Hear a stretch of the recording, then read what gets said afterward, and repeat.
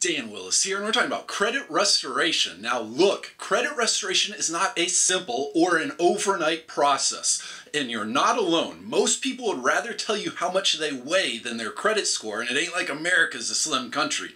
Now, regardless of how you came to have bad credit, whether it was job loss, divorce, illness, or your own unique lemons in life, there is hope. You see, your credit score works a lot like your grade point average way back in school days past those dings on your credit report, late payments, charge-offs, judgments, repossessions, the negative items, that's a lot like having an F in gym class or an F in the art of walking or whatever. That's a lot like having a bad grade. Just like those positive marks on your credit report are a lot like having an A in gym class or underwater basket weaving. And if you'd like some help, you can get a free credit consultation by calling toll free 1 877 418 7596. Now, legal credit repair primarily is going to use two big federal laws, the alphabet soup. And the first one is the Fair Credit Reporting Act, FCRA. In short, this federal legislation allows you to dispute and challenge and potentially remove inaccurate, incorrect, misleading items that are on your credit report. The other big law the legal credit repair is going to use is the Fair Debt Collection Practices Act. In short, this is the regulation that's supposed to govern the debt collection industry. And yes, it's broken about as often as our drug laws. Now, there's five credit score components when your credit score is actually calculated. And that's done by another company called FICO, Fair Isaac Corporation. That's the big swinger, the one that most lenders and most creditors use. There's other credit scores, and even with the FICO score, you have more than one FICO score. You'll have an Experian FICO score, a TransUnion FICO score, and then you can also have industry-specific FICO scores. For example, if you're applying to get approved for a new home, that might use an industry-specific. There's also the Vantage score Nevertheless, FICO's the big swinger, and FICO's the one we're talking about here. And for our purposes, and the, these five components, these have rough approximate weight or value. Generally, just focus any of your efforts with FICO. That's the only one you need to worry about. And the first one is your payment history.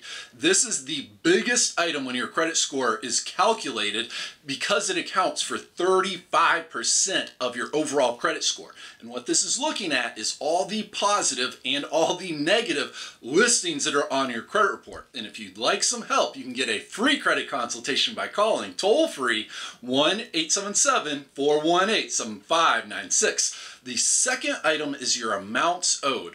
This used to be called your utilization ratio. It's rough roughly 30% of your overall credit score and it's looking at all your total debt and comparing that to your available and unused credit. And here's a big deal here. Having large amounts of debt is not going to ruin your credit score, especially if you have a mortgage, student loans, even a car loan. The big key is with revolving credit lines. For example, let's say you have a credit card and you have a $1,500 limit. If you go in and apply for that new home we were talking about and you only have a $300 balance, that would give you $1,200 of available unused credit.